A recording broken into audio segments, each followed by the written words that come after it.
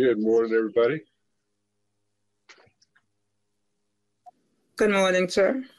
Good morning, good morning. Good morning. Good morning, Miss Washington. Good morning, Mr. Geraldo. Miss How's everybody today? I'm going to warn you all that I'm going to be turning off my mic from time to time and, and camera so that I can sneeze because I'm having like the worst allergy day that I can imagine. Oh, You God. too? You It's bad. too? You too? Yeah. I I had started this morning. I was walking the dog and I was like sneezing my head off, and I don't even have allergies. Yeah. It was bad. It makes me so. So I figure I'll do you all the courtesy of uh, of sneezing off camera and off microphone. Okay. Well, sneezes can wait.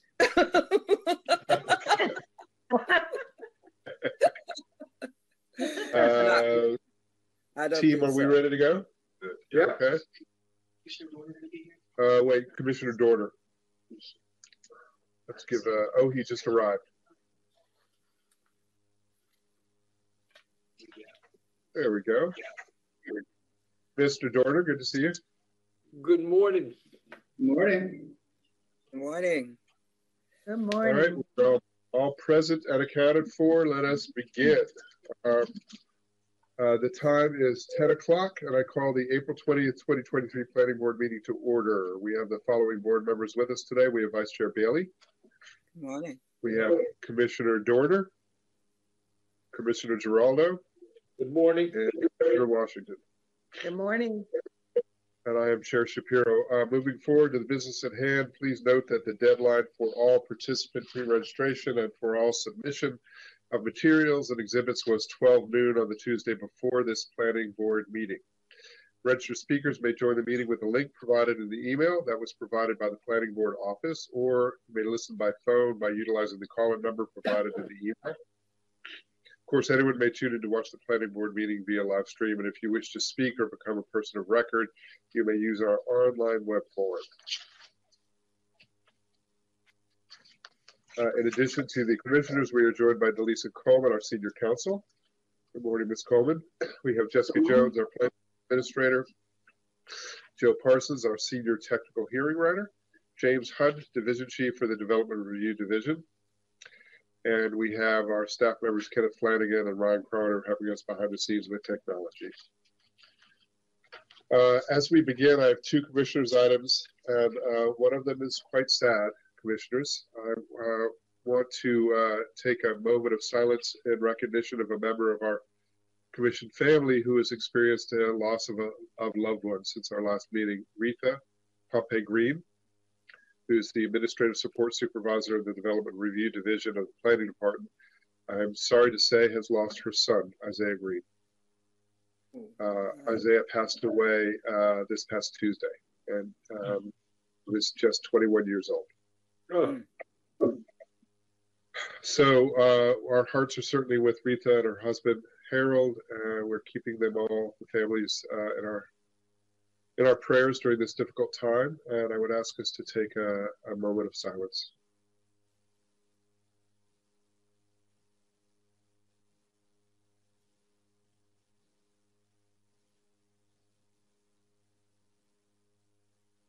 Okay, thank you all. thank you. Um, we also have a resolution, uh, which is not on the agenda, uh, but this is uh, to uh, a resolution of appreciation uh, that I would ask you all to uh, approve. And this is for our dear former planning director, Andree Green Checkley. Um, as you all know, uh, she announced her retirement. Uh, she'll be officially retiring uh, the end, the very end of this month, beginning of May, and we have a We'll have a nice farewell for her next week, but we have a resolution that we're going to be presenting um, when we uh, are with her. So um, I would ask you all to approve. I'm not going to go through all the uh, recitations for this because we're you'll have it and we'll be seeing her next week. So I would ask you to approve the uh, resolution of appreciation number 2023-45 for Andree Green Checkley. Move Move approval. to approve. Second. I've got I've got Commissioner Geraldo on a motion and uh, Commissioner Washington on a second. Uh, any discussion on the motion? Let me just say under discussion, uh, looking forward to seeing her and seeing everybody uh, next week and giving her a, a proper send off and recognition for all the amazing, amazing work she's done for the county and for the commission for all these years. So uh, there's no, I, I no further. those. Thank you. Uh, so with that, I'll call the roll. Commissioner Geraldo, I vote aye. Commissioner Washington, Vote aye. Commissioner Doerner, Vote aye. Vice Chair Bailey. But I, I vote aye as well. The ayes have it five zero. Thank you all. Now on to uh, the next item on our agenda, item two. I would look for a motion to approve the draft minutes of April thirteenth, twenty twenty-three. approve draft minutes of 2023. Second. Sec- Got a motion by Vice Chair Bailey, a second by Commissioner Washington. There's no discussion. I'll call the roll. Uh, Vice Chair Bailey, But I, Commissioner Washington, Vote aye. Commissioner Geraldo, I vote aye. Commissioner Doerner. Vote aye. I vote aye as well. The ayes have it five zero. Um, give me one second, folks.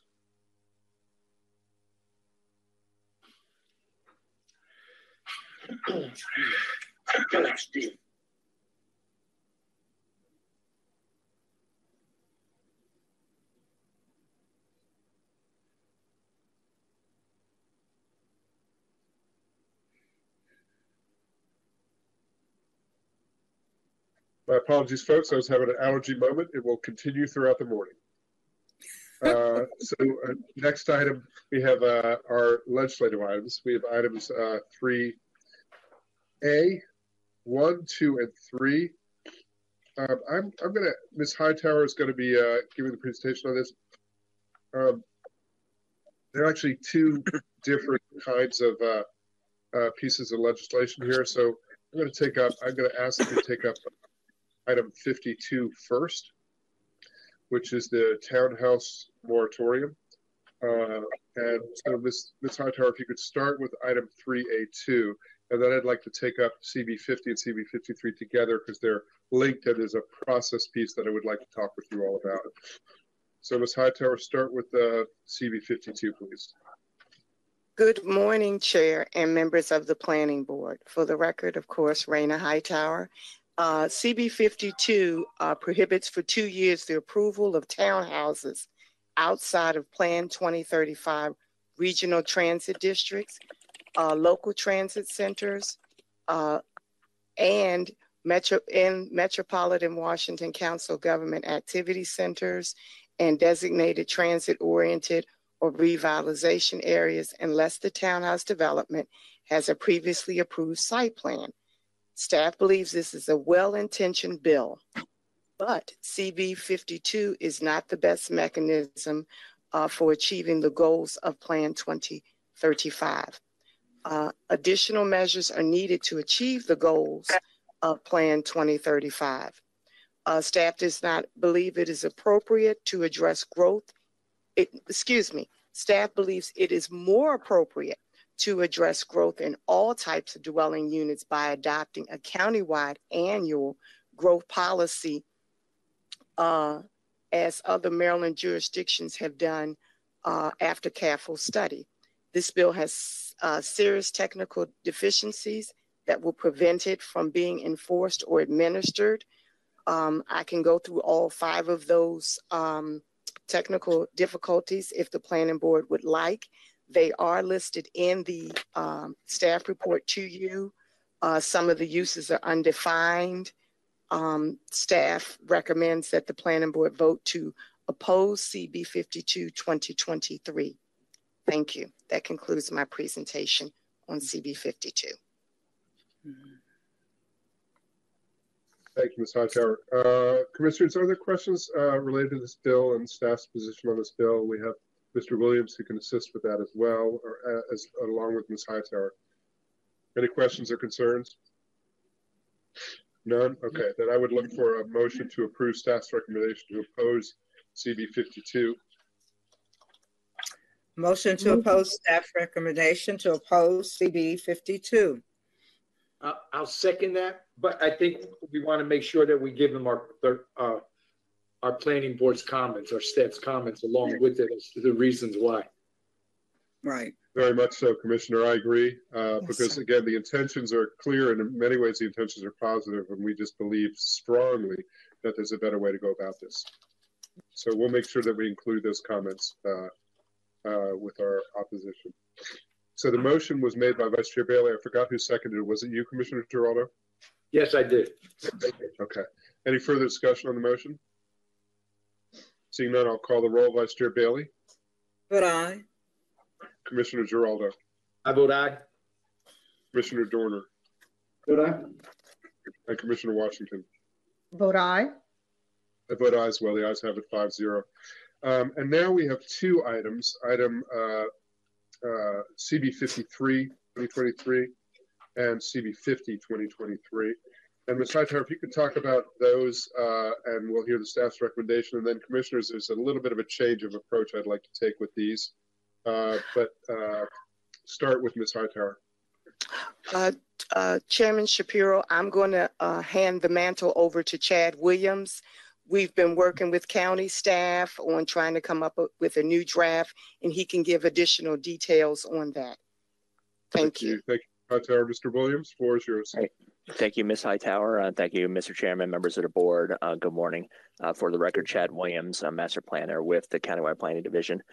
Uh, CB 50 and CB 52 are um, doing essentially the same things. Uh, they are taking, um, that they are making revisions to council bills that already passed earlier this year, uh, where the council elected to um, prevent certain um, prior zoning text amendments uh, from moving forward under the regulations of the new zoning ordinance, uh, largely dealing with, uh, in the case of CB 50, uh, Bill CB 17 2023, which also dates back to CB 17 2019, pertaining to townhouse and one family detached dwellings in the RA zone, uh, which is now the AR zone.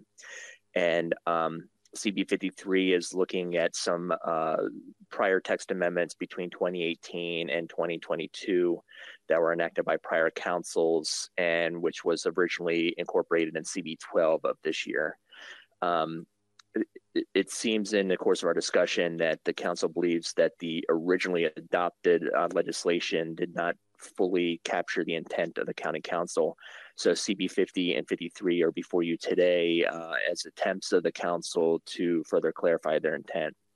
Um, as initially drafted, uh, staff had significant concerns with the approaches uh, taken by both bills. Um, I will say that 53 is extremely similar to 50. 50 is really where the heart of it, the discussion comes into play. So I would just focus on that bill uh, in this this overview. Um, namely the the approach taken in draft one it would have resulted in significant complication of the county's uh, very important transition and grandfathering provisions.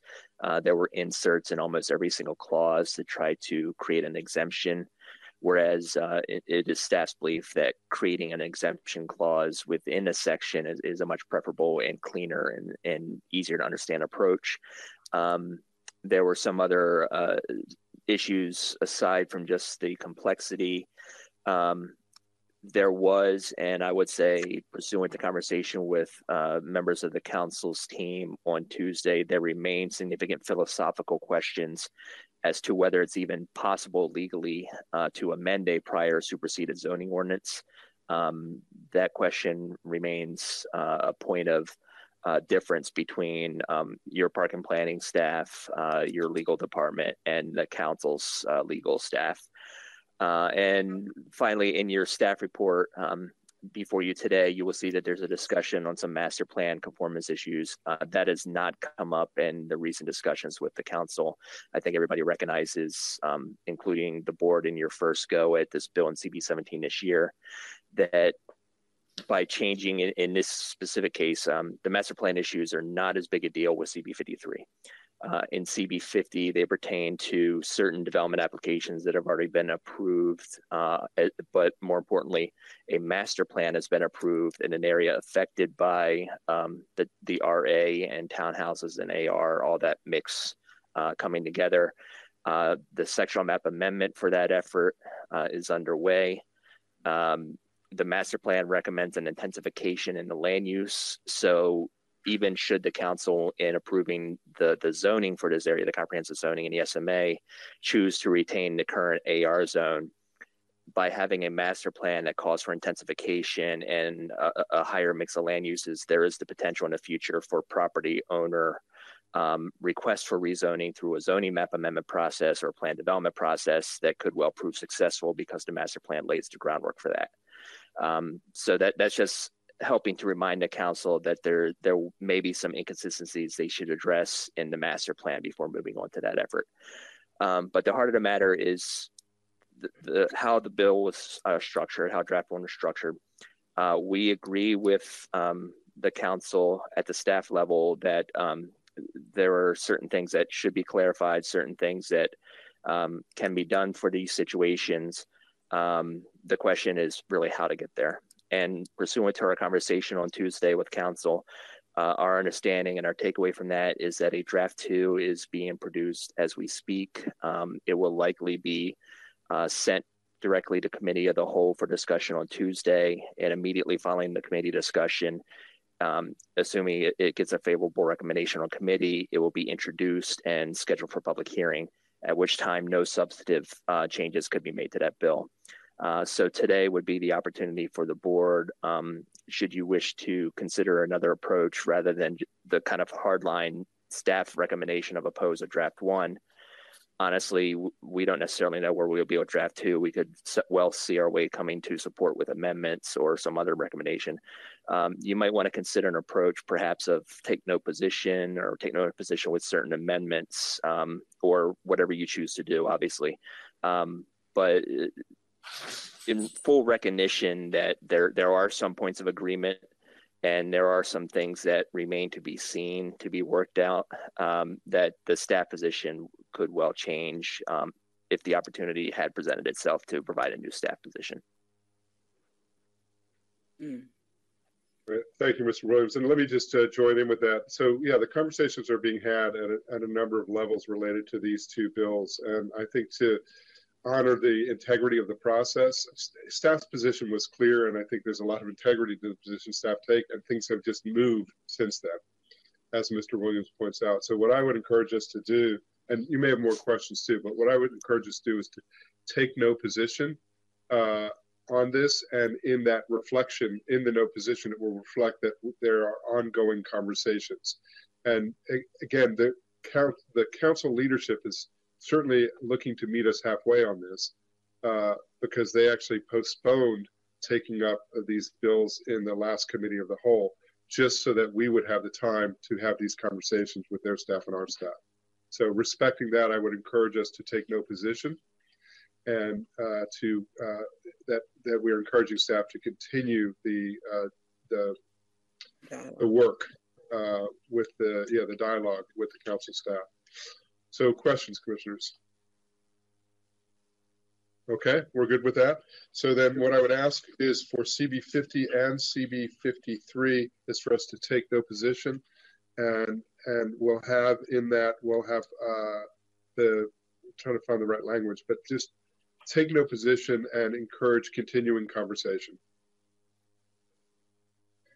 Okay. I move that we take no position, uh, Mr. Chairman, on CB 50 2023 and CB 53 2023.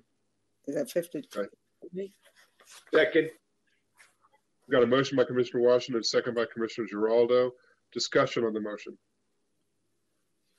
Okay, no discussion. I'll call the roll. Commissioner Washington. Vote aye. Commissioner Geraldo. I vote aye.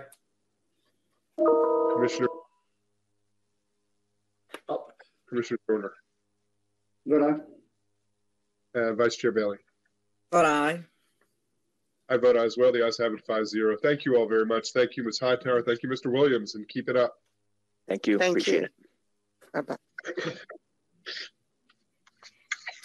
Uh, next item on our agenda is item 3C. We have these are Parks and Rec items. We have a ground lease agreement for National Harbor. Uh, we have three Parks and Recs items, uh, and the first one will be presented by Mr. Sun. And uh, Sun, if you're on the line, introduce yourself, and the floor is yours.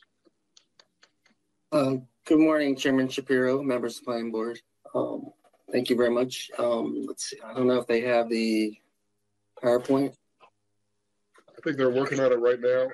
Okay.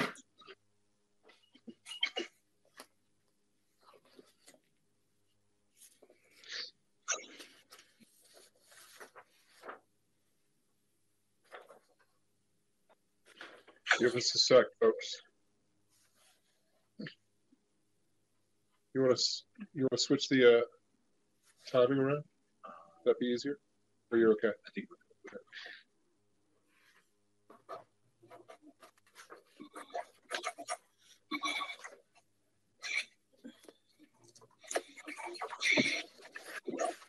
Oh, great, thank you.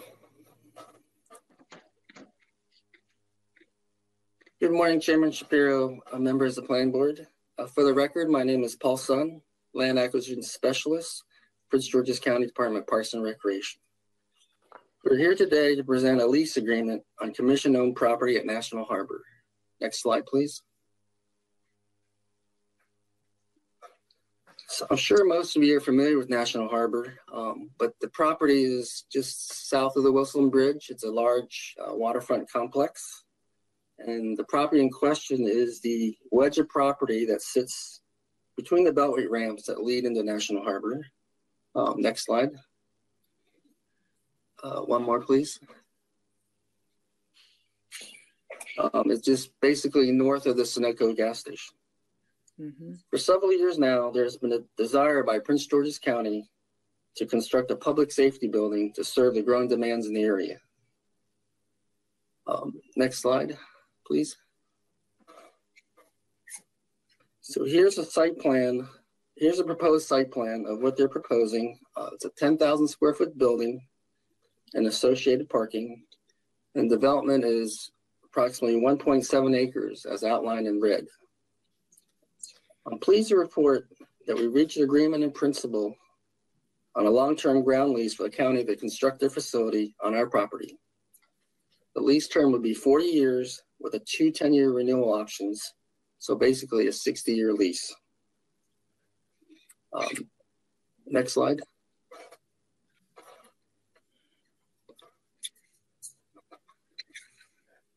So as a benefit to commission for allowing the county to construct on our property, the county provide a 1,548 square foot of space in the new building.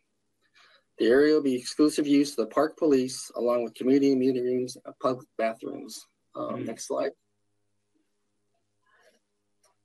So here's a uh, depiction of the gr- uh, ground floor space.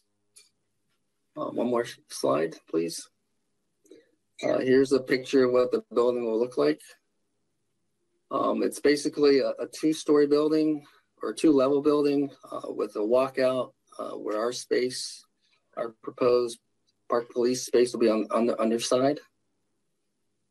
Um, next slide. Staff supports the public benefit of this new public safety building at National Harbor and believes that the provision of the exclusive use area within the new building will support the commission's park police efforts along with meeting the community's public recreational needs in the surrounding area. DPR staff recommends approval of this proposed ground lease. Uh, one item of note that since this is a long-term extended lease, this lease agreement will require approval by the Ca- Prince George's County Council. Are there any questions, comments? Commissioners, any questions or comments for Mr. Sun? I think it's, I think it's a great idea and I know it's Yeah. been in, in the process for a long time. I, I'm just wondering what, uh, I, I know we're not at that stage yet, but I do know that area does need some sidewalks. Yes, um, that's one of the things, um, th- they're gonna be finalizing the site plan, um, and, that- and that's what we've asked for. But we'll, we'll sure, uh, it will come through for mandatory referral, um, their design, so we can certainly look at that. I'm sure all the staff will look at that when it does come through. Okay, thank you. It sounds like we'll have a bite of the apple again around design, which is good. Mhm. Uh, This is a technical issue, Mr. Sun, but I just want to make sure it- whether it matters or not. Uh, You mentioned that it was 1,548 square feet of space, but the slide says 1,555 square feet of space. Does that Uh, matter? Correct. That's one of the things we've been meeting with the, um, the county on, um, and it's just been a little back and forth. It, it's a minimal square footage, but that will get corrected in the lease, and we'll certainly correct that when we s- send the resolution to you for adoption. Okay, great. Thank you for that. Uh, okay, any other questions for Mr. Sun? No, I think it's great. Good, good to hear. Uh, so we, uh, the, I would look for a motion to approve. So move. Second, Second, Got a motion by Commissioner Geraldo, second by Commissioner Washington. Any discussion on the motion? I'll call the roll. Commissioner Geraldo, I vote aye. Commissioner Washington, vote aye. Commissioner Doerner, Vote aye. Vice Chair Bailey. I think it would be great for the National Harbor community, and I vote aye. I agree. I vote aye as well. The ayes have it five zero. Um, next, we have, let me just jump to item three E. Um, and then we'll, we'll wrap up with item three D. So item three is the Parks and Rec item fiscal year twenty-three operating budget expenditure and fifty-three and fiscal year twenty-three recommendation fund transfer request. Uh, we have Ms. McCain. Mr. Tyler, do you, uh, want to say something first before we turn it over to Mr. McCain, Ms. McCain? Just a very good morning to everyone. And, uh, no, we can proceed. So thank you. Okay. Good morning. Um, so for the FY twenty-three operating, uh, budget expenditure request, I'm not going to read the entire memo, but basically in the park fund, we had a, we were projecting a savings of ten million, two eighty-eight, eight eighty-five in the park fund. And we have some major maintenance projects that we'd like to complete before year end, um, and some equipment purchases. Um, and they are listed in the memo. In the rec fund, we are projecting a savings of nine point eight million. Um, we are not asking to use the, uh, I'm sorry, we're projecting a savings of four point two million in the rec fund. And we're not asking to use any personnel savings. Um, we're asking to use, um, a portion of that one point three million dollars to cover the cost of the dredging for the Anacostia River. Um, this was to be included every fiscal year. Um, and so the enterprise fund is short because we needed to do the dredging project. So we're asking to use the $1.3 million to cover that cost. Great. Um, that is it for the year in. Let me go back to the other document. Oh, and the other document is uh, just an explanation to transfer. Uh, we did not put money into the FY24 budget development for the dredging project, and we'd like to amend the FY24 to move some money to the FY24 um, budget for into the enterprise fund for the dredging project that is ongoing. Thank you, Mr. McCain. Uh, Commissioners, uh, I've, I've uh, had the opportunity to review this with, with staff. I'm perfectly comfortable with this, but I want to open it up and see if you all have any questions that you have for uh, Ms. McCain, Mr. Tyler, or anyone else. No questions, then I would look for a motion to approve staff recommendations related to the uh, budget expenditure and budget transfer. Move to approve, Mr. Chairman. Second, Got a motion by Commissioner Washington, a second by Vice Chair Bailey. Any discussion on the motion? Not, I'll call the roll. Commissioner Washington, I vote aye. Vice Chair Bailey, vote aye. Commissioner Geraldo, I vote aye. Commissioner Doerner. Vote aye. I vote aye as well. The ayes have it five zero. Thank you, Ms. McCain. Thank And you very thank you, much. Mr. We have one last uh, Parks and Rec item. This is uh, item 3D. We are going to get, I'm very, very excited uh, that we're going to get a preview on the website redesign. We have Miss Jackson, Anika Jackson, and Marcus, and Marcus, I forgot your last name. Henry. Marcus Henry. We have Marcus Henry, who's sitting next to me, and you can now see on screen. He'll turn the screen off as he does the presentation.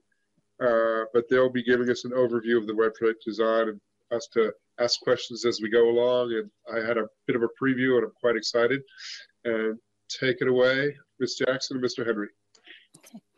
Good morning, uh, Chairman Shapiro, Vice Chair Bailey, and members of the Planning Board. For the record, my name is Anika Jackson. I am the Division Chief for MNC PPC, Department of Parks and Recreations, Public Affairs, and Community Engagement Division. It is an honor to present to you today the department's new web design. Today, we will review the website, redesign goals, provide a demonstration of new website of the new website, and review next steps. I want to start with a little bit of a quote, and it says, People ignore designs that ignore people. Uh, this was a quote by co founder and creative director Andy Golopsy of Made by Shape Web Design. We've heard from our elected officials, our community members, and staff. Users found our website hard to use, um, hard to find information, found it cumbersome, and it wasn't intuitive. Our Commission Web and Public Affairs and Community Engagement teams were tasked with creating and refreshing the Department of Parks and Recreation's website to better serve our web users. Here are just some quick facts uh, about working on this redesign, and I believe Marcus will share some with you as he goes through uh, the web demo. So, on an average, uh, websites have about 12 to 30 pages. Our website, current website, had over 1,000. Sure. The ideal number of clicks to a desired content, information, is an average between two to three clicks. On an average, it takes users five or more clicks to find information on our current website, leaving the user frustrated. These are just a few challenges our web team worked through to create, create a better user experience. Now, I would like to take this moment to introduce to you our acting web manager, Marcus Henry, who will provide you with a review and demo of today's website. Thank you.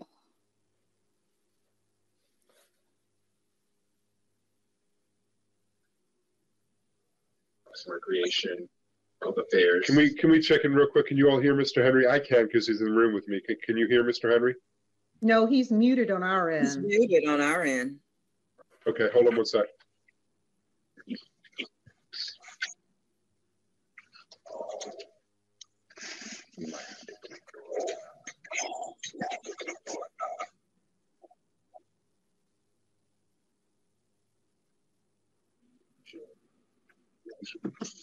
Uh, is that better? Mm. Say something now? Um, can you hear me now? Yes. Yes. Okay. Okay, great. Um, for the record, I am Marcus Henry. I am the acting uh, web manager for MNC PPC, Department of Parks and Recreation, Public Affairs Office. Um, I'm just going to go through a brief presentation and then I'm going to go through the new website. Um, on your screen, you see that this is our, our goals for the web redesign. We wanted a responsive, mobile friendly website that allows our users to be able to use the website in a way that leaves them happy rather than frustrated. We wanted to streamline the content. As Anika mentioned before, we had over a thousand pages of mostly redundant information. We were able to get that down to, if you do not count all of our parks and facilities, about 75 pages. Um, the site is far easier to manage on the back end for the web team and all of our programmers. Um, and it has increased security and we it is set up in a way that allows us to make upgrades steadily throughout the entire lifetime of the website.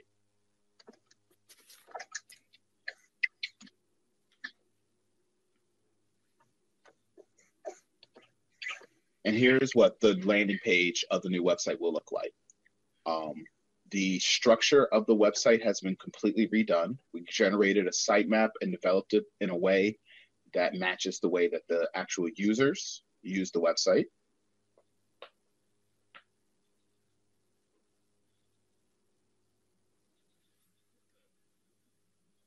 Uh, we redid the way that banners, are head banners are handled. They are now have no text embedded within, uh, and we are able to change the text on it in the back end of the website. This was done to maintain ADA um, compliance. Pictures, uh, words and pictures is a ADA violation.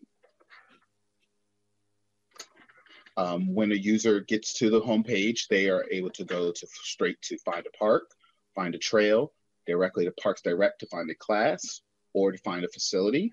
Mm. Um, and also shortcuts for sports, senior programs, and youth programs. All of these buttons uh, we have full control over. If we decide that we need to highlight something else, we can change it in a very quick amount of time. They also have a calendar of upcoming events that allows them to see all events throughout the Department of Parks and Recreation that are available for them, and I will go into this later. Additionally, the news releases are available on the first page. Uh, and shortcuts to me- membership and passes, uh, renting a historic site, and mm-hmm. employment, mm-hmm. and also signing up for the newsletter.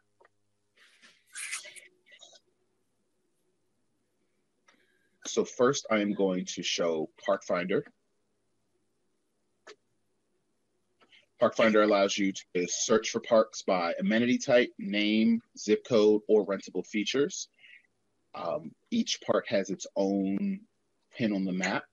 And click on the pin, you get a full breakdown of it, uh, including icons that display the display the amenities available at that park. We are working closely uh, with Parks Planning Department and um, within pay, within the Public Affairs Office to get more pictures for each park and facility.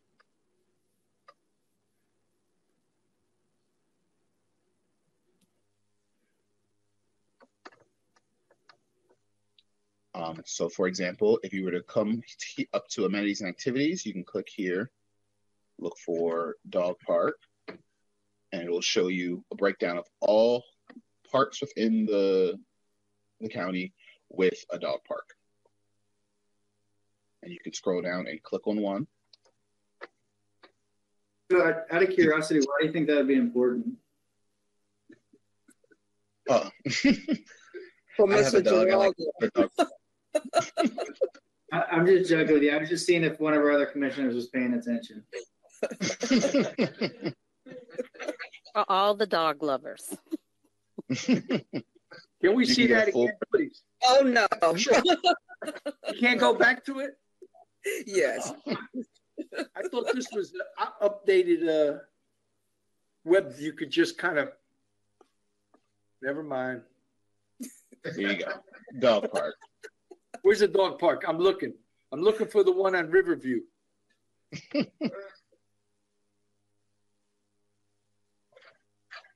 um, and if there's anything missing, we are working closely with the enterprise asset management team to make sure that this data stays up to date as um, our asset coordinators enters new assets into the system.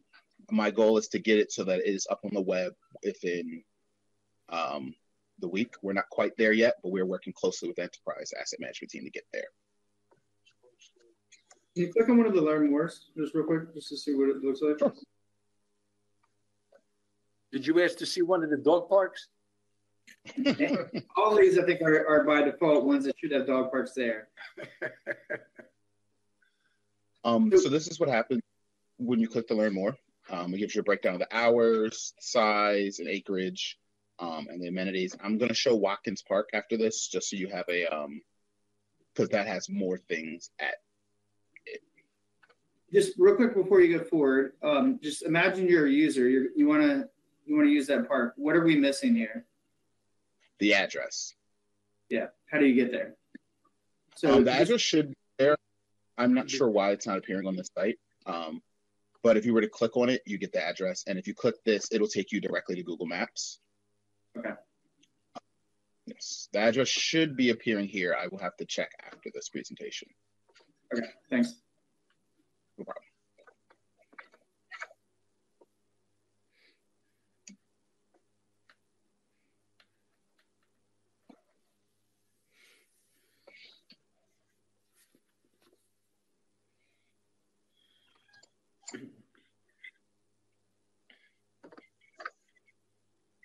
So I'm showing Watkins Regional Park to give an example of what it looks like when there's a lot of amenities available at a location.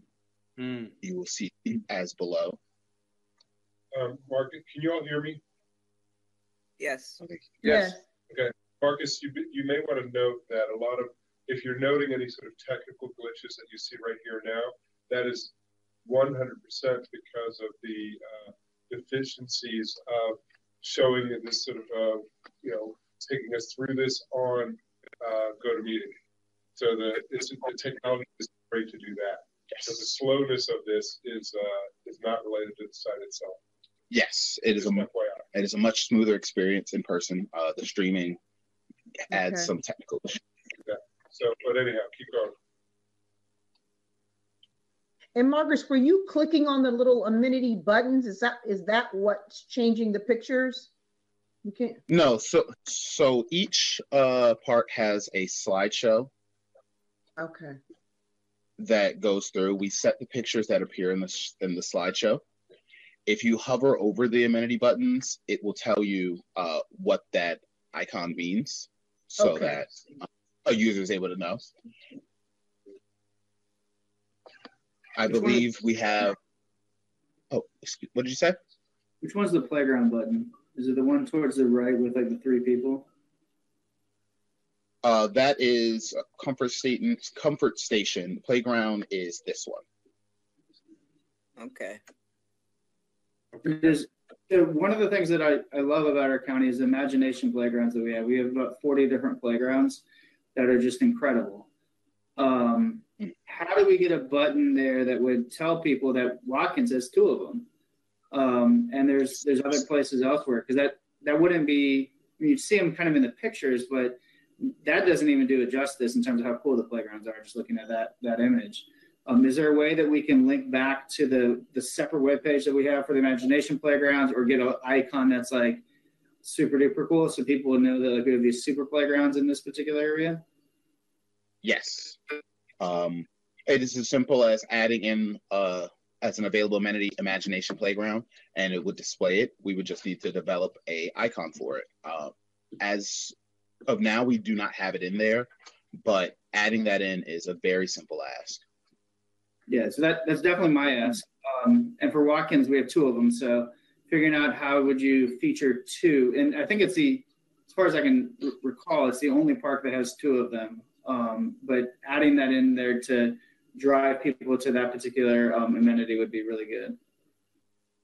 Okay. At least parents. Like, I'm obviously not a very well-rounded sample here.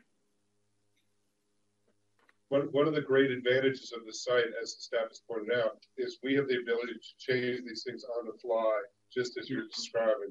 And so that is a huge, huge advantage for the public, for us, but yeah. for the public especially. Yes, yes. The behind the scenes, it has been fully overhauled. The way that the web team makes changes to the website is a much more streamlined experience and we can add and take out things as needed in a much quicker uh, pace. Marcus if you could also highlight the rentable features.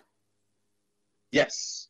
So uh, when you look at any any park you will get a highlight of rentable features. Uh, for example here we have uh, community garden the multi-purpose fields, and the picnic shelters. Um, and that is generated um, by us in the back behind the scenes. We're able to, if Watkins gets a new rentable feature tomorrow, we can add it in tomorrow so that it is available to the public as long as they let us know.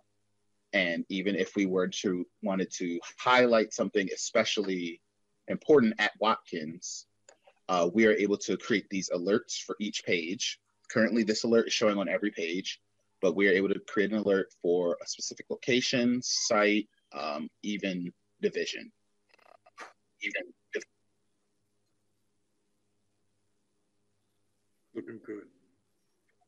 So, we also uh, the center there, and this is another kind of like odd amenity that's not in other parks. But how would you highlight that we have this like really nice nature center there um, that people could visit? I will I will get right to that. Um, let me, uh, at the bottom of each location, you'll see related locations so that um, it displays anything that's at the same, by default, it just shows anything at the same location. But if we want, wanted to highlight other parks, we could do that. So if we wanted to say, well, let's have all the regional parks count as related to each other, we could just type something in and it'll show Casca. Um, and as you can see, uh, Watkins Park has Watkins Nature Center as a related location, and it also has the tennis bubble. And, and Marcus, you can you scroll page. back up a little bit? Sure. You know where there are the tabs? Yes. Just above that. So you can see these are areas here um, that are directly related to that particular site. All right, are you talking about campsites, events? I was because that's in the middle of the page. It's a, right. Mm-hmm. So yes. click on. So what do what what are we clicked on now, Marcus? Which tab? So we are looking at Watkins Park right now. We are clicked on campsites. Okay, mm-hmm. so you click, click a few of the other tabs so we can get a sense of. No problem. Like so campsites will give you reserve a campsite and it gives you a breakdown of the campsites. Events mm-hmm. will give you a breakdown of all the events. Okay. I think Miss Washington wanted to go to the golf one.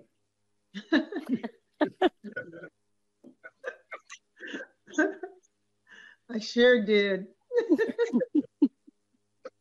Doesn't realize it's putt putt, but we won't tell her that until she gets there. oh, it gives you a breakdown. Golf. That's me. Oh, sorry.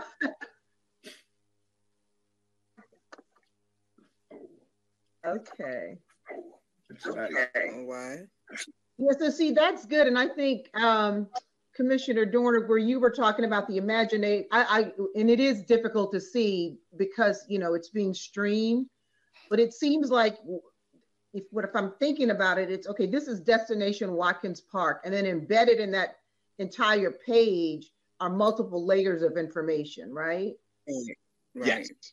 Okay, yeah. That's neat. Good. Yes, lots of information are embedded in more um, parks that have lots and lots of amenities have lots of information embedded on them. Um, mm-hmm. So that it's the goal was to make it so that if a member of the public comes to our website and they want information on Watkins Park, they should only have to go to one page. Right. And we were able to get everything on this one page without having performance suffer. I just wonder if if you ima- the imagination playgrounds are better suited on these tabs as opposed to kind of the icons. Um, it's possible. Um, what we have done with this web redesign is we put ourselves in a position where we can have conversations like that and decide what is the best solution. We're Got not it. locked. We are not locked into any particular solution for the website. Um, if we decide the Imagination Playground should be a tab down here, we can do that. If we decide it needs to be an icon as above, that's also equally possible. Or even if we need to, we can put it over here uh, with the hours and size.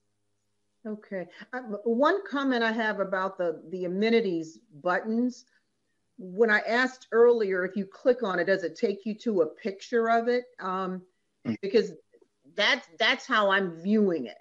So I, mm-hmm. I would ask to think about that a little bit because if the tabs, I mean, what do they do? I, I can barely see it, but it's you just hover and it just sheds like is that basketball courts? Yes, uh, you hover and it gives you it tells you what the icon is. Um, okay. If you click on it, it currently does not do anything. Right, but yet you have moving pictures. so yes you know, intuitively, I would think, okay, well, the pictures are moving. If I click on this, it's going to take me to basketball courts or something like that. So I would just ask you to think about that a little bit. Okay, yes. Um, next, I will show uh, the Trail Finder. Trail Finder is um, the newest addition. Uh, we are working closely with the Parks uh, Planning Department and with the Enterprise Asset Management team to improve this page. Currently, we are just showing the um, hard surface trails. We're working to get the natural surface trails added in in addition to that. and we are working with those teams to get a list of all amenities along the trail. Um, just like the Park Finder, you're able to type in the name, zip code, amenities, or rentable features, and it gives you a similar breakdown of information.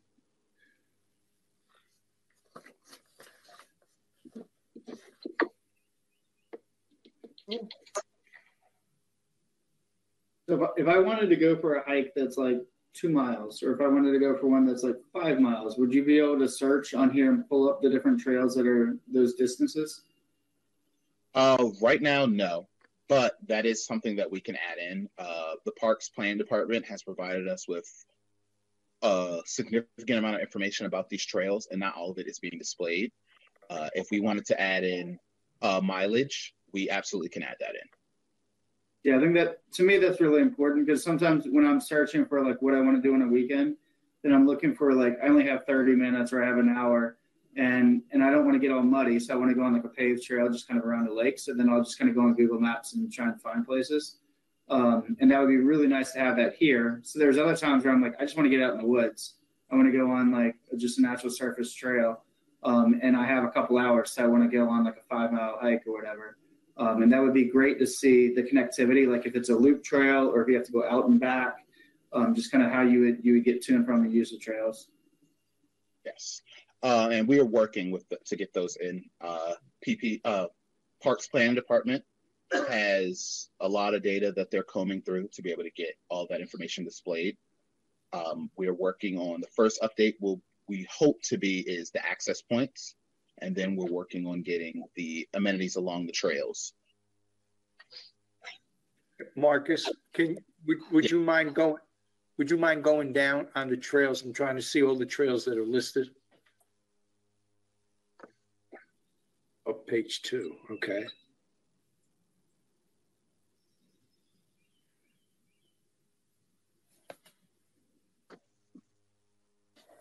Ah, that's Um, the one I was looking for. Okay. Okay. Marcus, similar kind of comment earlier. Will, that's a five mile. Start at Tanger Outlet, go across the bridge, then you come back. Okay, I'll make sure I don't eat across Everett, Virginia. That's how I spend my money. Okay. Marcus, same kind of question as before with like when I said, well, how do you get to the park? Um, if you were to Mhm. click on these trails, is there something that would take me to there, show me like a map of how I would get to them? So then I could decide, do I want to drive to the trail or do I want to bike ride? Is there like a bike share station that I could use or anything like that? Um, that is something that we're working on adding in the bike show station information. Uh, we definitely need to add the address. Um, right now, all that's available is the printable location map and uh, the uh, the used in Google Maps to give a rough location of it. Additionally, if you would click it in the map, it'll take you to it. Does the printable location map actually have a location, like show the trail itself? Or is it just a button that goes to the trail? It shows the trail. Oh, Okay, that's great. That that'd be really nice for like phones. Um, it might be good instead of only a printable location, test it on the cell phones to see can you download that PDF to there, or is there a way to save like a JPEG so people could save it to their photo? So that way, if you're out of the cell service and you're on a trail and you want to figure out like, am I going the right way? Do I turn right or do I go left on a trail? Um, then you can zoom in, you can kind of see where you are if you don't have um, good cell service out there. Technically, Google Maps Yes. work without cell service. You should still have satellite stuff that actually comes in, but it doesn't always work really well. Yes. Um, so a lot of the mobile features were in mind in the design of this website. Um, that'll be my last part to show what this looks like on mobile, but um, it is able to. It is a PDF, which is viewable on most smartphones. But if we decide, if, if we find a need to add uh, different formats, that's definitely doable. Okay. And for other amenities, I would suggest having like picnic tables because many times with kids in tow, um, I want to know can I grab like a sandwich and go and eat a picnic at like a trail um, and take kind of a break to, to do that. And knowing if there's like picnic facilities there is um, is helpful. Okay. So those are the amenities, uh, Commissioner Doerner, that we're uh, researching and working with our colleagues in park planning development so that we can identify along the trails. Um, I know you all have many questions. There are at least, I think, five more things that um, Marcus has to demonstrate. We want make sure you have a full perspective. Thank you. Push this along, Miss Jackson. Is that is that you're saying we're asking too many questions? No, no, no, absolutely not. I want you to have the full view and opportunity to see all of it. Well said, Miss Jackson. Well said. Hey, uh, Let me just say, I had a We taught her well.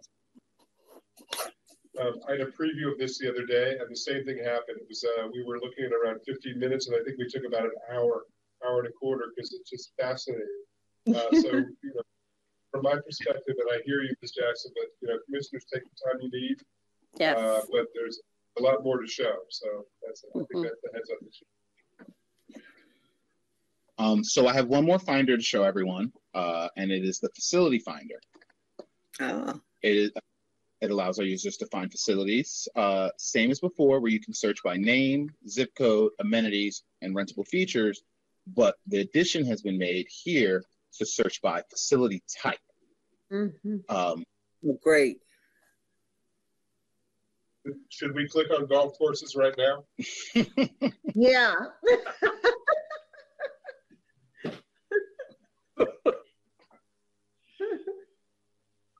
um, so you click on golf course courses, and it shows you the golf courses facilities.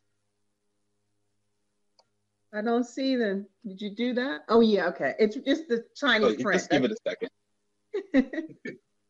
and then I'm gonna scroll down, and you see it shows the golf courses: Enterprise, Henson Creek, Henson Paint Creek. Branch. Okay. Um, and similar to um, in Park Finder, you can click on Learn More to get a better view of that facility. Um, as you can see, Henson Creek is very thorough with their hours. They have the hours breakdown for each month. Mhm. Um, you get pictures, um, the address,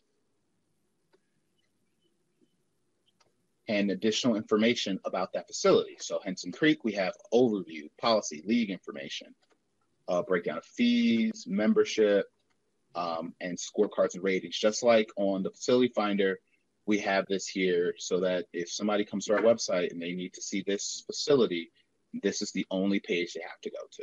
All their possible information is here. Um, with that same uh,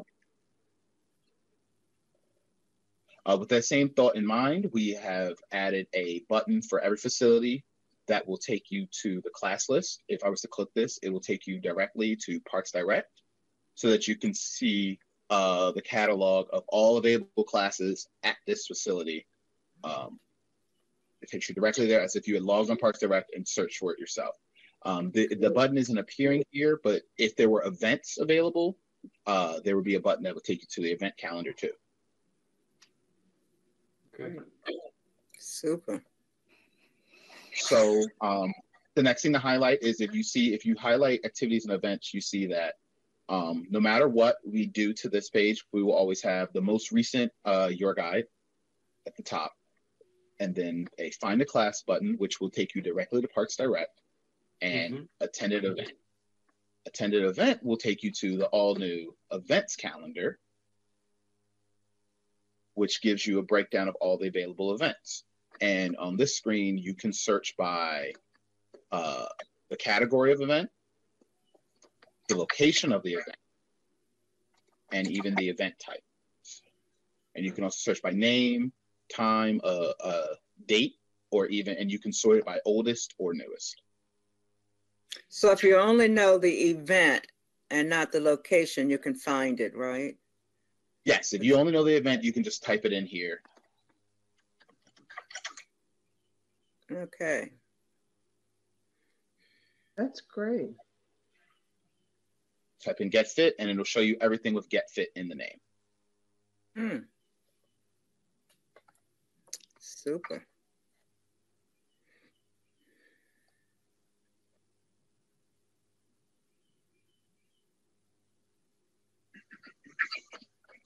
Um, the next page I want to show is something that was at, requested by our county executive board, uh, a one-stop shop for sports. Mhm.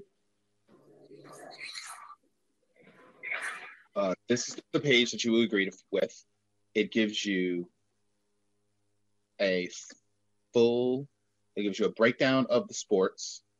It allow, gives you buttons. This will take you to back to the facility finder as if you had searched for sports complexes. Permits will take you to um, the page that details all the rental permits and policies, which I will show next. Field rentals will take you to the rental permits and policies, and register and roll will take you directly to Parks Direct and uh, to register. Um, are so many links to Parks Direct throughout the website. Uh, to go back to what Anika said earlier, we want people to be able to get where they need to go in one to three clicks. So no matter where you are, there's a few different ways for the user to be registering for whatever class they want to register for. That's great. Oh, great. That is good. So um, if you scroll down a little bit further, you see that um, you get a breakdown. You get four options. We have youth sports, adult sports, coaches, and other providers. The youth What is sports. coach, uh, is coaches for, meaning if I am a coach, that would, I would likely want to go to that tab? Yes, it, it is for volunteering. Oh, Uh, so if you want to volunteer to be a coach, you come here and you can click that. Uh, we, at the recommendation of Chairman Shapiro, we are already working on changing the wording there. Oh, okay. And other providers? Yes, I, I will get right to that next. Okay. So that um, youth sports, it gives you all of the available youth sports, not just those provided by our youth sports uh, countywide division. It also shows youth sports available at sports available at community centers. Each of these icons is a button that will take you directly to Parks Direct. Okay. Oops. Take you directly to Parks Direct, as if you had searched for show me cheerleading sports for anyone under the age of 18 or disc golf for anyone under the age of 18. so if you click on cheerleading, will it show where else, where cheerleading occurs? What, what happens when you click on cheerleading? So if you click on cheerleading, it takes you out of our website and it takes you into Parks Direct and Mm. it shows you all of the available courses in Parks Direct. So right now there's lots of summer camps in there. So you see day camp, cheerleading camp beginner. And as you can see on the side here, it's as if you searched, you typed in cheerleading, uh, and you plugged in age filters of anything that is not an adult or senior. Oh, okay, great, great. Yeah, it's a shortcut. It's a shortcut for a member of the public to not have to search for it themselves. They can just click a button on our website and all the work Right. is done. That's super. hmm Yes. And that works the same for each of these buttons and it also works the same for the adult sports.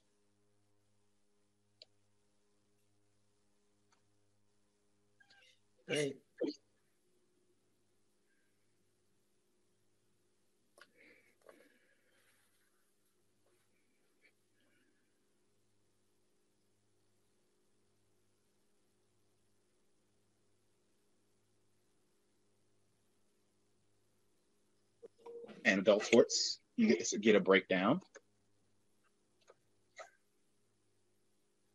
As you can see uh, over here, it looks like you, it's as if you typed in basketball, Mhm. but instead this time only adult and seniors check.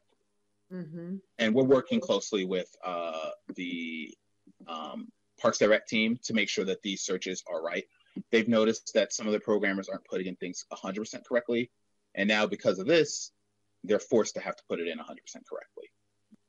Yeah, like age two? Yes, Or- yes, yes. We are working with them to make sure that's not happening. Let's be careful with that one. Yes, yes. I've already made them uh, clear, uh, uh, aware of the issue. It's partially a bug in the Parks and Rec system, and their vendor is working on rectifying it. Okay. And that happens, so.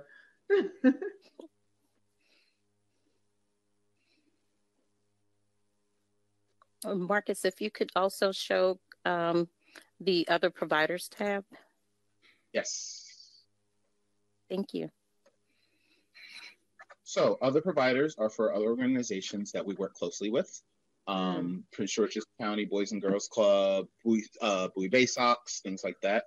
Uh, we're working on a solution for uh, Boys and Girls Club. As I am aware, we work extremely closely with them. Um, and we are working for a way to kind of more properly show their unique relationship with us and better integrate uh, their programs with our programs.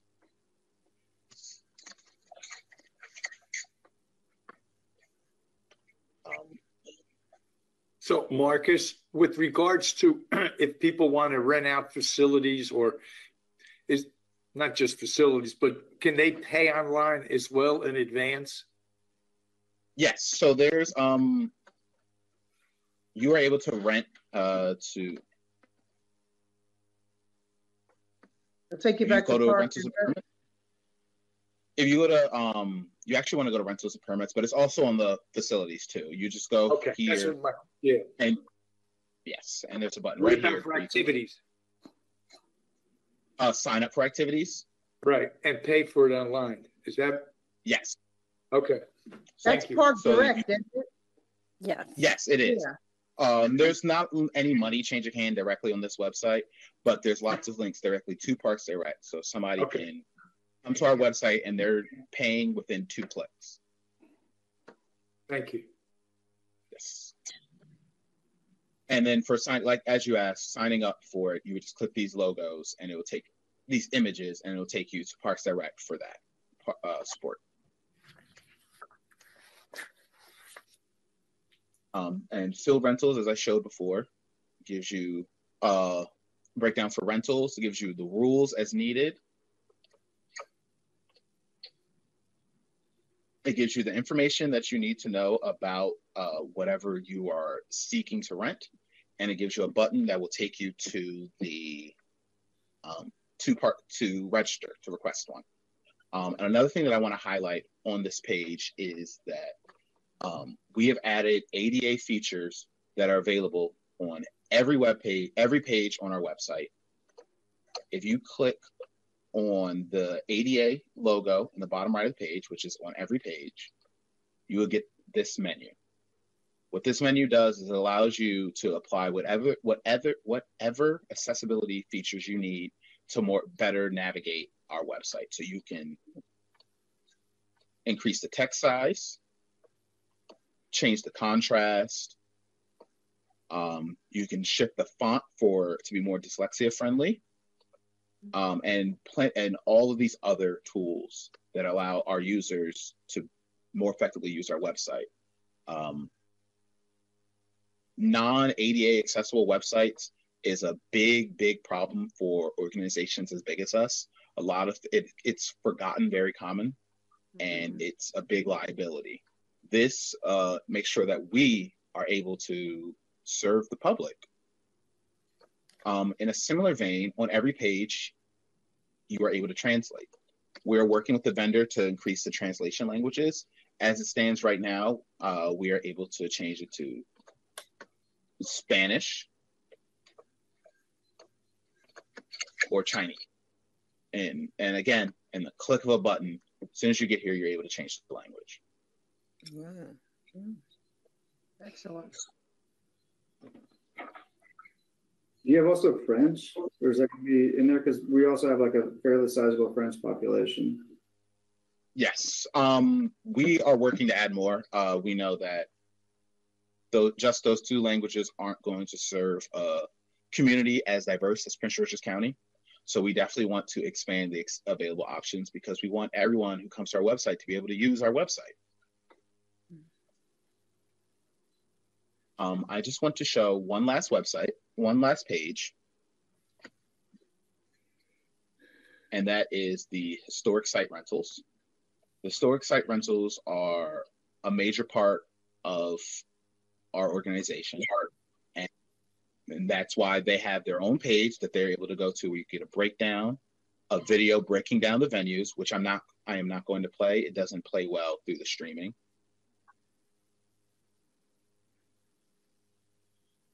And it shows you each of the historic site rentals. Um, and if you were to click on these, which I will do in just a second, it'll show you um, exactly how you can go about renting it. Oh, great.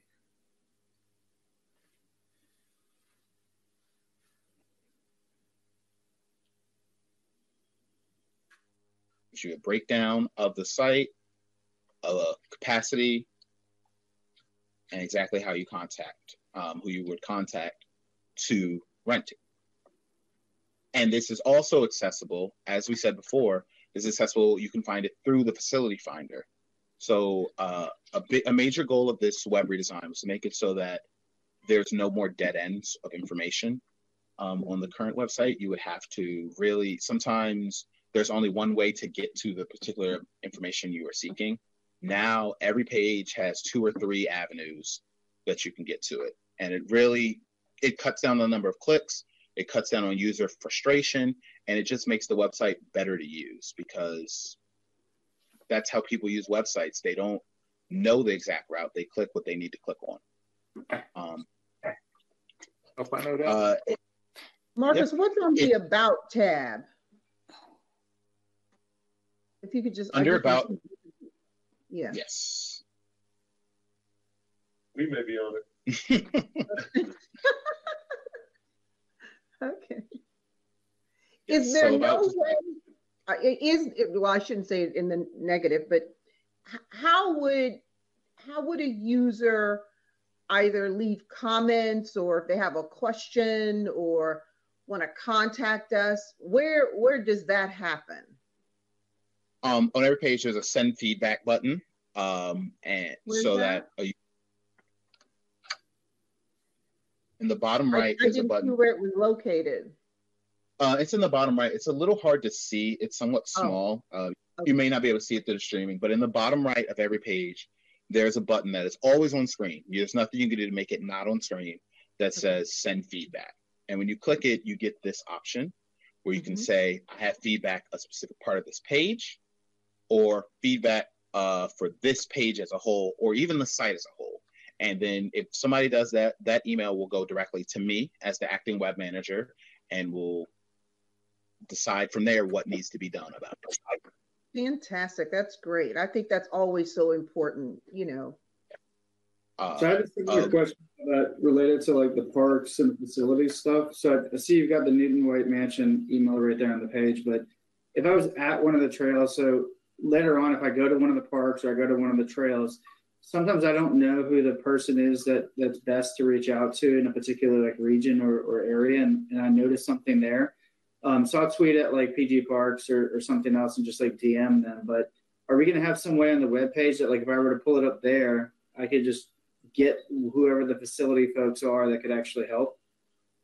Yes. Instead of so yes, we are working to get the Active Directory fully integrated into the website so that whoever is marked in Outlook as the facility director or whichever position is the contact person for that facility will pop up here. Uh, the reason it's not there yet is we're still working to get all the credentials from ITC to get that plugged in, but we're working to get it uh, fully integrated with Outlook so that if that changes, it will change, be reflected on the website.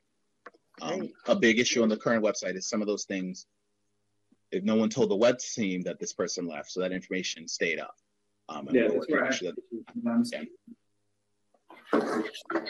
Um, if any of you used the old website, I'm sure you tried to use the search feature and walked away frustrated. Um, or how about through your computer at something? That's how That's bad it, it was. we have fully overhauled the search feature.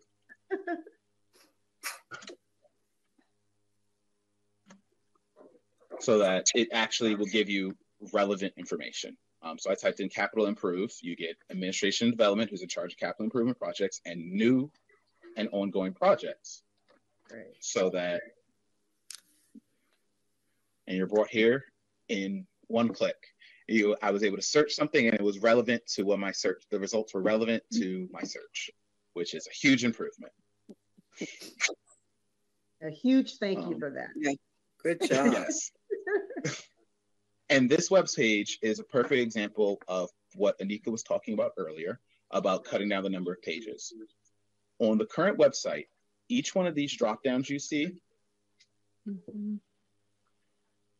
was its own web page, sometimes two or three in some cases.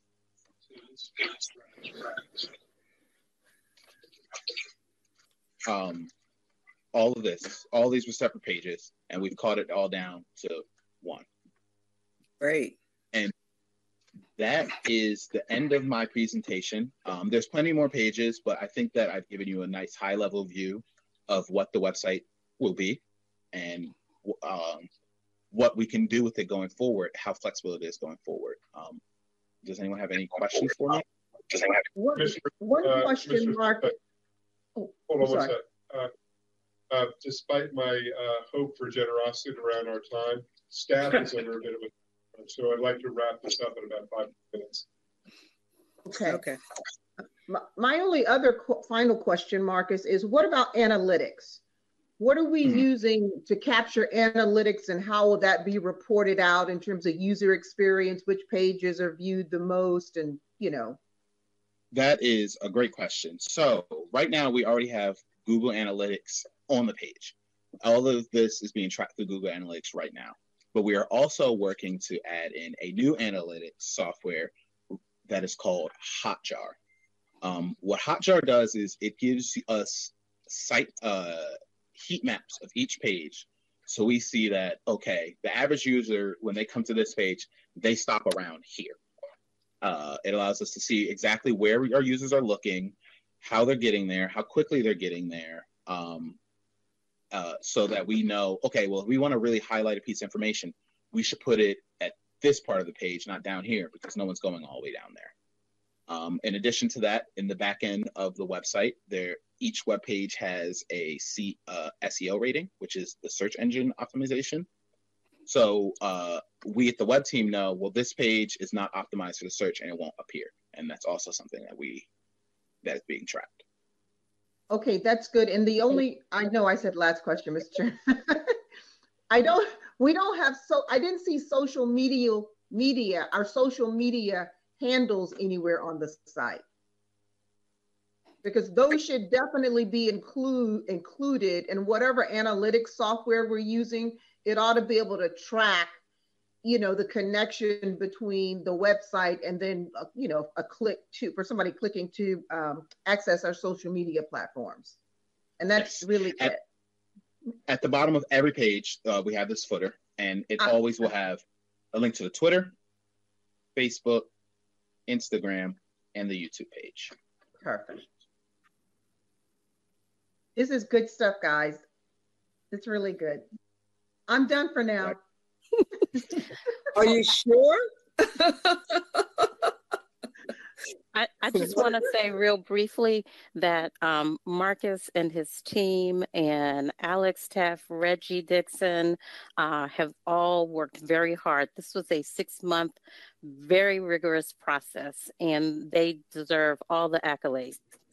So I want to say thank you, and we appreciate um, Well. Bill Well and. Alvin's support through this process. And Mr. Chair, while Bill Tyler is on, I just want to thank him and his staff. Uh, I've visited uh, several of the parks and- or recreation centers in the area, and I see that they've begun improving uh, the, the ball fields, football, uh, the baseball fields. Still waiting for a soccer field in South County, but those that uh, exist, those. So, Bill, I'm really happy because they you've done a great job. Thank you for the acknowledgement. It's a team effort and they are working day and night, honestly, uh, to make those improvements across the board. But thank you for that acknowledgement. We appreciate that very much. Okay. Hey, other questions for Marcus, for Nika? for Yeah, I- Director? I did want to know just in the header, like that black header that's at the top, and, and I was also reiterate my other colleagues' comments. Are like, this is great. Like, and I've done a website redesign, and they're painful. Like, we're going through one that's supposed to be done six months, and it's going on several years at this point um, for different organizations. So I, I know the pain. Um, and this looks really good. But up at the top of the header, we've lost the counties where we had something in there for like Prince George's County, something for Montgomery County. Are we going to have that, or how do people know that like Parks and Recreation is Prince George's right there at the top if they're kind of clicking through? Um, that's not there right now, um, and that's mostly just because this is the um, test in page. We just once we actually go live, that will be added back in. Um, it's just that this is the test page, similar to if you were to click either of these, it'll bring you to the old website. Okay. Yeah. No other comments from me. Great job. Other questions, comments? Well, Mr. Chair, I Mr. Chair, just one quick uh, moment. I wanted to say uh, thank you to the team because they were under tremendous um, uh, pressure to get this done in short in a short period of time, and it took a lot of folks. But I just want to say uh, thank you to the team on the call as well as our friends over at CAS as well that helped out. So it's been a team effort, but they have come through in record time on this one.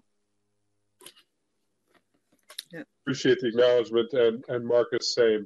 Great, Marcus and Nika, great job.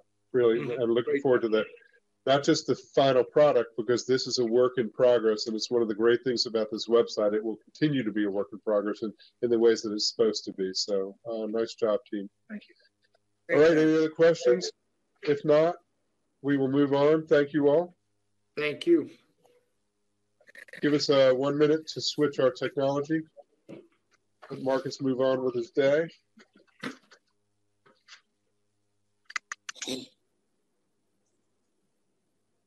Uh, next item on our agenda is a consent agenda. Uh, uh, we've got, uh, what do we have? Three, four items on our consent agenda. Is anyone here who wishes to oppose staff's recommendation or any board members who wish to discuss any of the items for ABDE? If not, I'd look for a motion. Mr. Chair, for consideration of the record for items 4A, 4B, and 4D through E, 4E, I move adoption of staff findings in accordance with the recommendations of staff. Second. Second. I've got a motion by Vice Chair Bailey, a second by Commissioner Doerner. Any discussion on the motion? Call the roll, Vice Chair Bailey. But I, Commissioner Doerner. Did I? Commissioner Geraldo. I vote aye. Commissioner Washington. Vote aye. I vote aye as well. The ayes have it five zero. And we will now move to our regular agenda items. First is item five. This is uh, SDP 0609H7 Balmoral Lot 21 Block E. Uh, we have uh, Ms. Bynum, who's going to be giving the staff presentation, Michelle Clancy, who's representing the applicant. This is an evidentiary hearing, uh, so the planning board, uh, I'm requiring those intending to provide testimony to take an oath. It's going to be a pretty quick matter, but let's still go through this. Uh, so all people intending to provide testimony, if there are any, please raise your right hand. You solemnly swear or affirm that your testimony will be the whole truth and nothing but the truth. Anyone's out there? Sounds like a yes.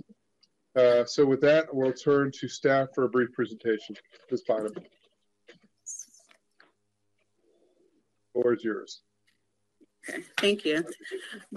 Good morning, Mr. Chairman and members of the Planning Board. For the record, I am Angel Bynum with the Urban Design Section.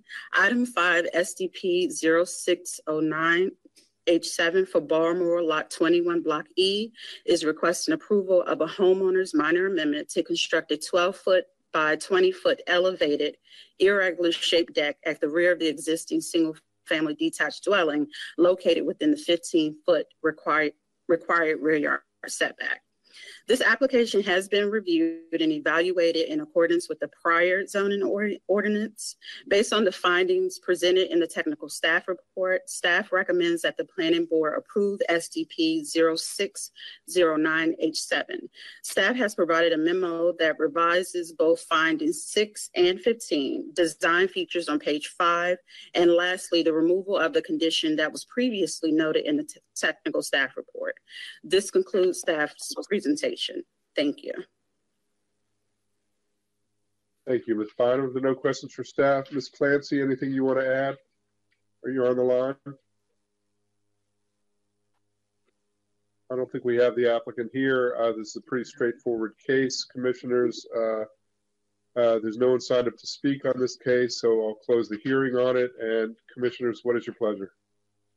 Mr. Chairman, I move that we adopt the findings of staff to include the revised findings in staff exhibit number one and approve homeowner minor amendment SDP 0609 H7. Second. Got a motion by uh, Commissioner Washington, a second by Vice Chair Bailey. Any discussion on the motion? Call the roll, Commissioner Washington. Vote aye. Vice Chair Bailey. Vote aye. Commissioner Geraldo. I vote aye. Commissioner Doerner. Aye. I vote aye as well. The ayes have it 5-0. Thank you, Ms. Bynum. Thank you. Uh, next item on our agenda, I believe this is the last item on our agenda too. This is item six. This is DSP 15021-01 Hyattsville Brightseat Road. Um, uh, this also is an evidentiary hearing. We have Ms. Gupta who will be giving the staff presentation, and we have Mr. Hallers representing the applicant. Uh, I believe we do have somebody signed up to speak, Mr. Borowski. Uh, so let me uh, read into the record. The planning board will be conducting an evidentiary hearing in this case, requiring those intending to provide testimony to take an oath. At this time, I ask all persons intending to provide testimony to raise their right hand. So, Mr. Haller, is there anyone else from your team who you want to take the oath? And Mr. Borowski, are you on the line? Uh, yes, Mary Gansert is on the line with Bohler Engineering, and uh, uh, my client, Mr. Owen, uh, was unable to stay on this long, so he will not need to take the oath. He's not going to be able to testify. Okay, So so, just- Ms. Ganser, Borowski, thank you very much. Uh, for the two of you, do you solemnly swear or affirm that your testimony will be the whole truth and nothing but the truth? I do. Okay, I heard it, I do, and I saw it, I do. So consider you're both sworn in. And we'll turn it over to uh, Ms. Gupta for the staff report.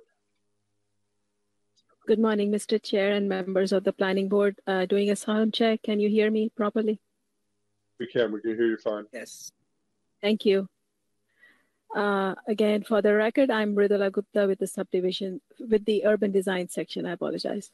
Uh, item six on the agenda is a detailed site plan, DSP 15021 01, titled Hyattsville Brightseat Road, which proposes to replace a previously approved four story and 124 room hotel building with a one story, 4,050 square foot gas station with a food or beverage store specifically a 7-Eleven store.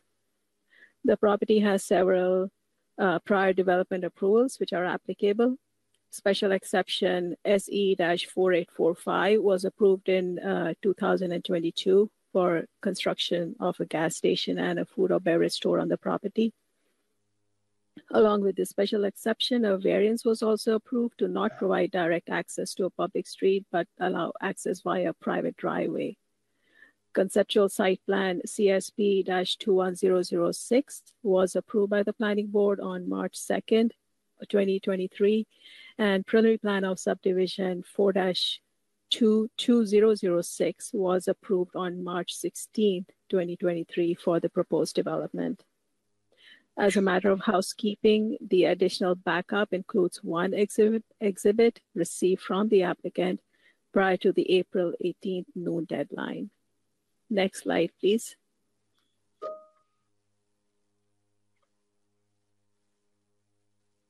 The, the subject property is in planning area 72 and council district 5. Next slide.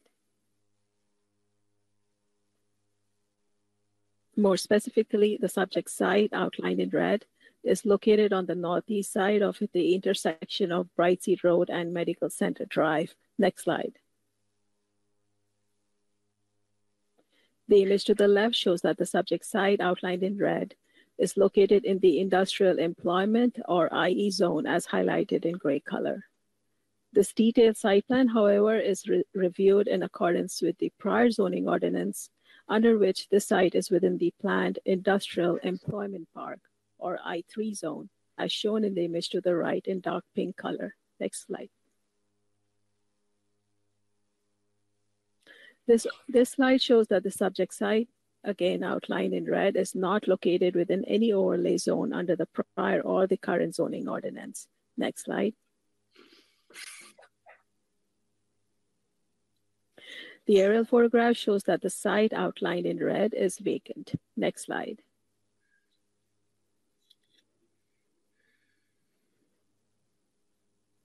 This slide shows that the site, which is delineated in pink, is generally flat.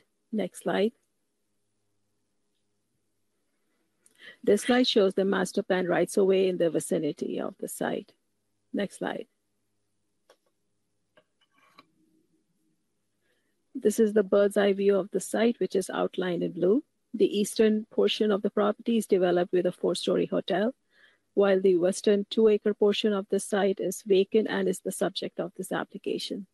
The existing hotel was approved under DSP 15021 and is not the subject of this, this amendment. Next slide.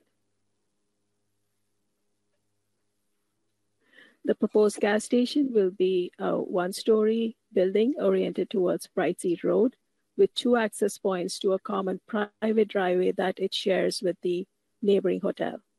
The fueling stations and the canopy are proposed to be located between Brightseat Road and the building, with parking located on all four sides. Internal vehicular and pedestrian circulation is provided on site by driveways and sidewalks around and between the hotel and the 7 Eleven building. Two bicycle racks are also provided near the front entrance to the 7 Eleven store. The service areas, including the trash enclosure and the loading space, are located in the southeast corner of the parking lot and will be screened by landscaping. Next slide. This slide shows the on-site and off-site vehicular and pedestrian circulation. The existing sidewalks are highlighted in yellow, and the existing shared use path along Medical Center Drive is highlighted in blue. The proposed bike lane along Brightseat Road is marked in purple, while the proposed sidewalks are shown in orange. Next slide. This slide shows the landscaping proposed for the project in accordance with the applicable sections of the landscape manual. Next slide.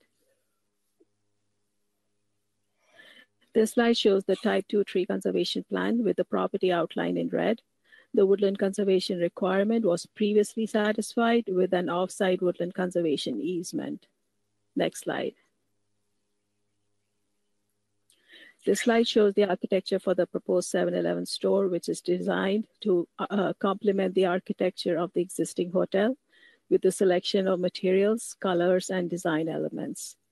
The front facade is highlighted with extensive glazing and the roof line is articulated with sections of pitched roof for interest. Next slide. This slide shows the architecture for the uh, proposed fueling canopy and the trash enclosure. Uh, both are proposed to be finished with split-faced concrete blocks and they're colored to match the uh, store facade. Next slide. So slides 16 through 22 show the proposed signage for the 7-Eleven store and the fuel canopy. This slide shows the location of all on-site signs, which were reviewed for conformance with the code. The sign package for the project includes four building-mounted identity signs, one canopy-mounted welcome sign, two freestanding signs, fuel canopy mounted identity signs and decorative striping on, on both the building and the fuel canopy. Next slide. This slide shows the location of the wall mounted signs. Uh, next slide. This slide and the next slide 19, uh, these are the details for the wall mounted signs. So these are the, this is the identity sign, uh, the 7-Eleven sign that's proposed for the building. Next slide. These are the signs for the, the welcome sign and the, the roost sign and all the, the, the colored striping that will, that's proposed for the building. Next slide. This slide shows the location and details for the signage proposed for the fuel canopy. Next slide. This is the detail of the 25 foot high pylon sign, which is proposed near the corner of the Medical Center Drive and Brightseat Road. Next slide. This is the eight foot tall monument sign, which is proposed at the location uh, near the entrance uh, to the Brightseat Road. Next slide. This slide shows the truck turning exhibit demonstrating the movement of a WB50 intermediate semi-trailer around the site. Next slide. As mentioned at the beginning of the presentation, the additional backup includes one applicant's exhibit, which proposes revision to recommended conditions. Applicant re requests revision to condition 1I, which is related to on-site movement of trucks. Staff is in agreement with this revision. In conclusion, staff recommends that the planning board adopt the findings and approve this detailed site plan DSP-15021-01 and type 2 tree conservation plan TCP2-026-2015-02 subject to the conditions found in the staff report and as revised by applicant's exhibit 1.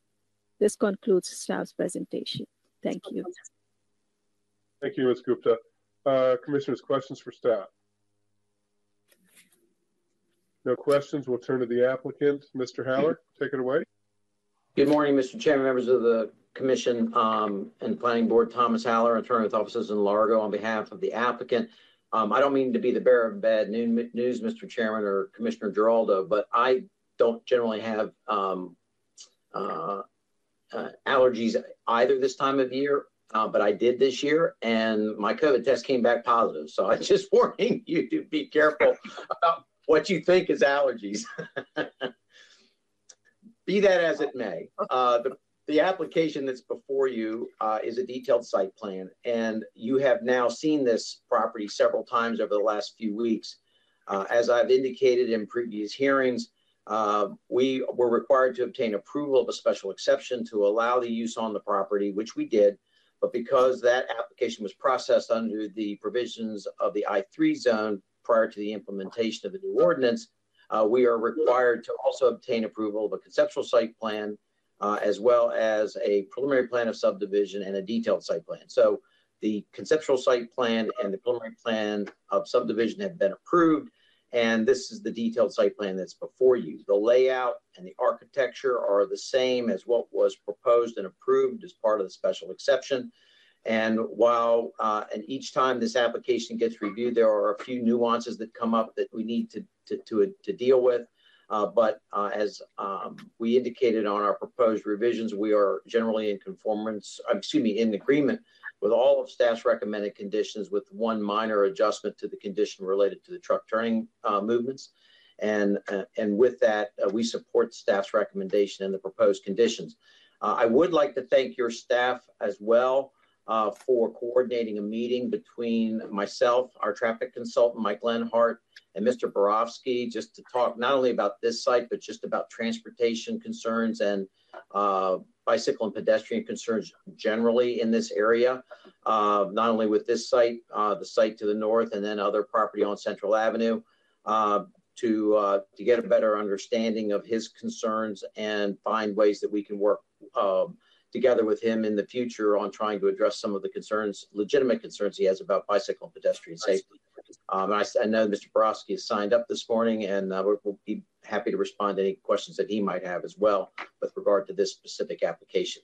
Uh, but with that, we again we support staff's recommendation with the conditions as re revised, and I'm happy to answer any questions that you have.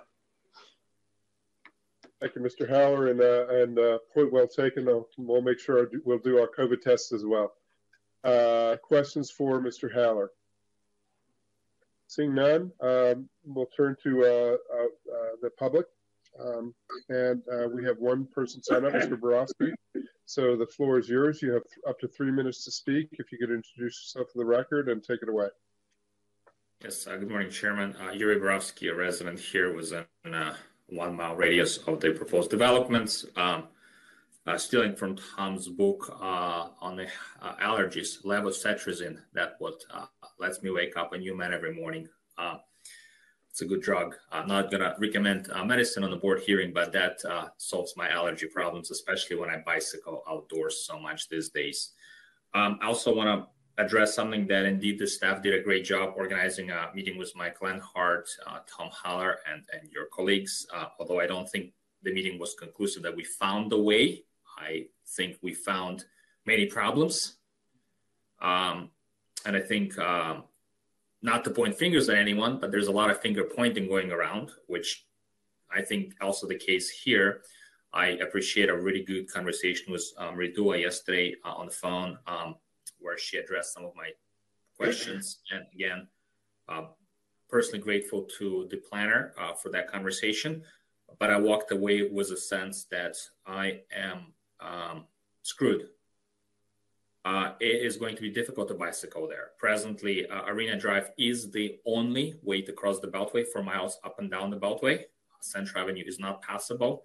The road north is not passable either. Now, we do point out there's shared use path. However, there is blind turns. Uh, there's no traffic signals, so cars don't stop.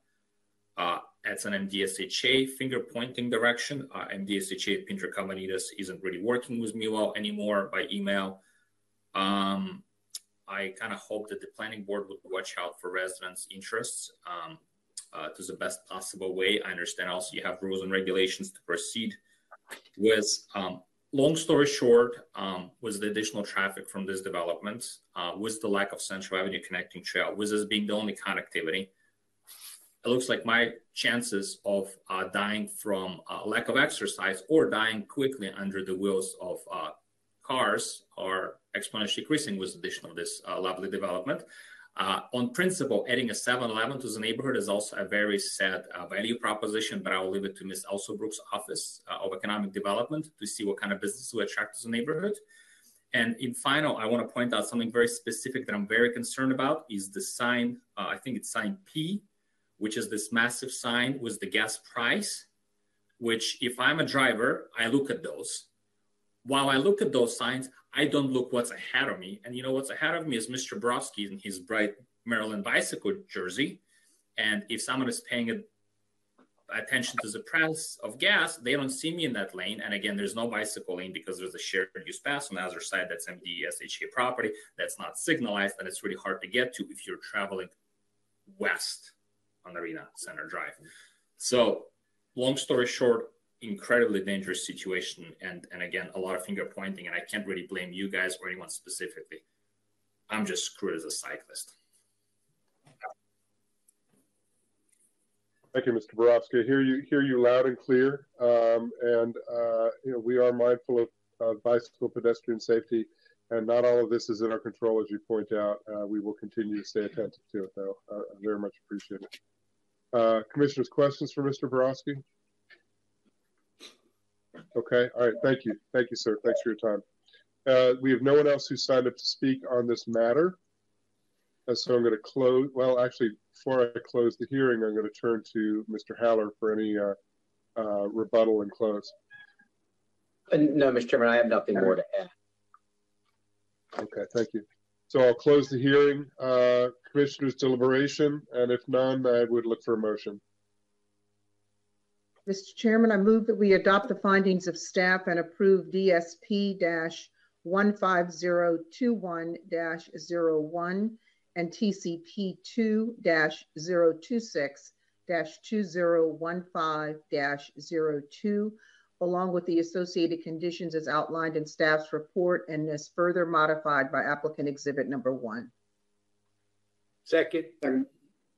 Got a motion by Commissioner Washington, a second by Commissioner Geraldo. Any discussion on the motion? So just under Seeing discussion, uh, just under discussion, I just want to um, thank Mr. Haller for, for offering to, to me, Mr. Borowski about the, the cycle lanes. Um, as you know, I've, I've asked in some of your other applications about shared use paths and the sharrows and just trying to find safe ways to make bicycle um, and pedestrian crossings and, and access. So to the extent that you can continue to, to kind of facilitate those discussions, um, it's much appreciated. And um, I hope that you, you have a safe kind of recovery from COVID and, and don't have too many um, too many outcomes that are that are negative. Thank you. I would associate myself with all those remarks. Thank you, Commissioner Doerner. Uh, any other uh, discussion before I call the roll? Not, I'll call the roll. Commissioner Washington, I vote aye. Commissioner Geraldo, I vote aye.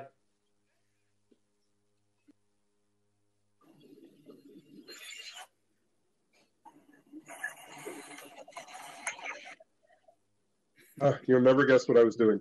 Uh, uh, Commissioner Doerner, Can I guess? yeah, right. Vote aye. Uh, Vice Chair Bailey, I vote aye. I have- I vote aye as well. The ayes have it five zero. Uh, thank you all. Thank you, Mr. Borowski. Thank you, Mr. Haller. Thank you, Ms. Gupta. Uh, thank you. Mr. vote Hunt. Thank you. Appreciate it. Uh, Mr. Hunt, any further business to come before the planning board today? Mr. Chairman, there are no additional items before the planning board today. Okay, then commissioners, uh, without objection, we are adjourned. Everybody be well and get your COVID test for those who are sneezing. Have a good day. Rest of the day. Bye, everybody. I hope you feel better, Peter.